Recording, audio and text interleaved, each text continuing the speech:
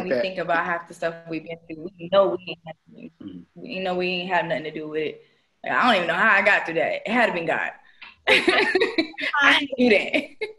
Sometimes the time, like divine timing, where it's just like just beyond my like comprehension. Like for example, Slick Woods. We had been my team and I had been wanting Slick Woods to be in our show and Right. Even if it wasn't on the runway, I was like, I want her front row. I love her look. Like, I, I want her next to our brand. And so we had like reached out a little bit. It didn't really work out. You know, we didn't get that much traction, whatever, whatever. Literally, she just popped up at our show, just shows up out of nowhere. My assistant is like, Slick is here. Did you book her? And I was like, no, are you kidding me? And she's like, yeah, she's here with Sean and da da da da. And I was like, what the fuck?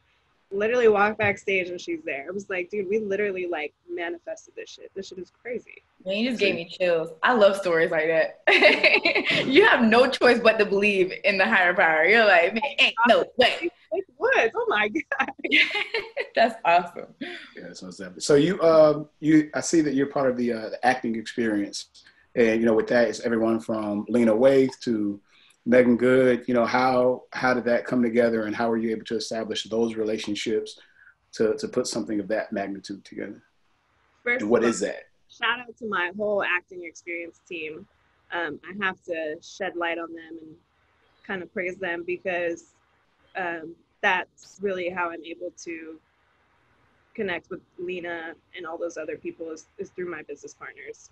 Um, they're kind of heavy hitters in the industry. And so they've got you know tons of relationships from way back when with um, a lot of actors especially mm-hmm. in the black community. So that's been a huge blessing.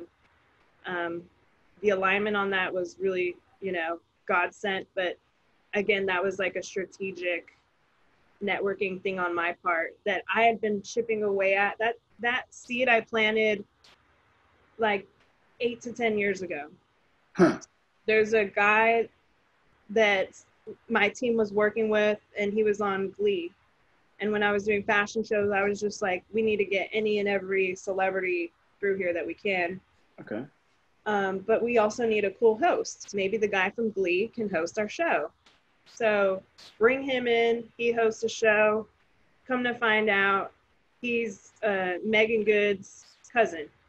So I'm like, man, maybe one day she'll come to a show. That's a long shot. It never happened at that time.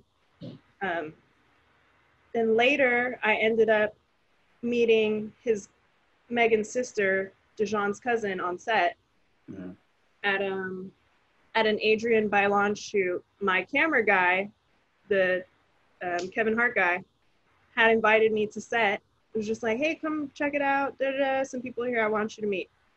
So I go over and I connected with La'Myia, who was producing that shoot, and was like, hey, I really need a producer for my show. So basically, I ended up hiring them both at one point, realized they're cousins, and then fast forward, they were working like every show with me. So Dijon was hosting the model experience, and La'Myia was working backstage. So it was like full family affair. And then at some point, I was like, hey, you guys are big in the acting world. Now Dijon's on like Netflix. He's got all these movies and shows and stuff that he's in. Um, so pretty much presented La'Myia with the idea of like, hey, we need to do it, the acting experience. It's a natural progression for models to get into acting. So, you know, there's something here. You have all the relationships. Like, let's come together. Mm-hmm. So we basically partnered, and then COVID hit, and then we were like, shit out of luck because our concept was all in person. We were going to do in person workshops, um, you know, a few different coaching things, but everything was going to be in person. So we just kind of like hit a wall. And then we kind of like came together, bounced back, and decided to do this online coaching situation and tie that in with a subscription. So subscriptions mm. are really nice move business wise because you can it's it's better you can plan it monthly i mean mm-hmm. it just it's it's kind of it's a not like passive income but i don't i don't know how to explain it but it's it's a lot better than to plan your your flow out that way. So through the subscription and connecting with some of these celebrities, it's it's been um, it's been a success. We're definitely still growing and we have a lot of growth to do, but I attribute a lot of those relationships to my partners. If, if you would mind, kind of simplify uh, both the model experience and the acting experience as far as what people get out of it and, and, differentiate the two. Say, for example, if someone that like, you know, just came to LA, or even yeah. if they're not in LA, because it seems like now you're doing things uh, digitally, yeah. just kind of simplify exactly what they get out of those two. So for the acting experience, um, you basically get uh, a coaching session. It's, it's basically an acting room or an acting class. And so every class is kind of tailored to different techniques. We have one that's like intro to actors.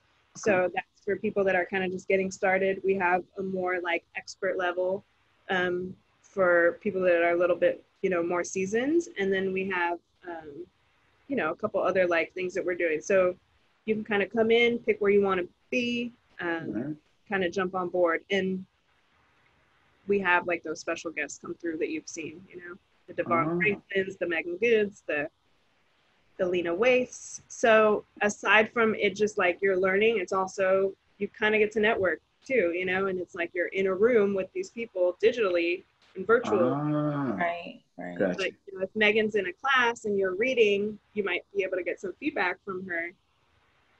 You know. Right. I see. Helping people connect the dots just like you did.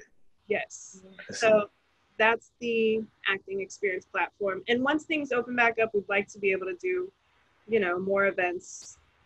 But that's okay. kind of where we're at right now. With the model experience, um, it was basically like a two or three day um, kind of course. So day one, you would come in for a photo shoot. Okay. Day two, you would come in for model coaching. So we have you know, runway coaches from America's Next Top Model. They come, they show you what to do, mm-hmm. and then the last day you get to walk in a fashion show. So it was gotcha. like a three day experience uh, for models.